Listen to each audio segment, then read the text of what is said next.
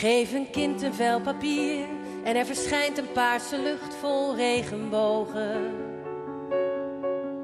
Alles komt van binnenuit, zie haar zitten onbevangen en bevlogen.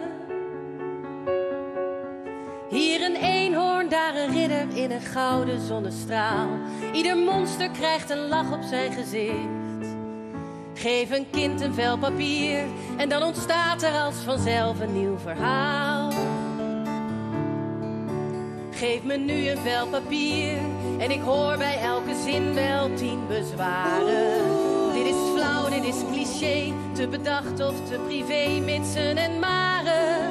Deze romance is voorspelbaar, deze twist te ver gezocht. Dit personage is totaal oninteressant. Geef me nu een vel papier en het moet grappig, actueel en relevant. Vertel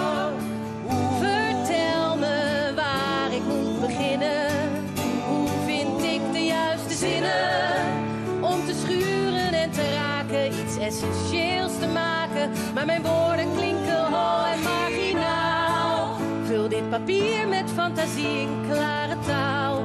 Geef me een verhaal. Als je even meter kijkt, ligt er een wereld achter ieder stukje aarde. Elke bloem, ieder insect heeft een geschiedenis, een functie, heeft zijn waarde. Deze paardenbloem Deze heg heeft schaduw en ook privacy. Privacy, als je even beter kijkt, zit er in alles een verhaal vol poëzie. Je kunt overal beginnen, nee je hoeft niets te verzinnen.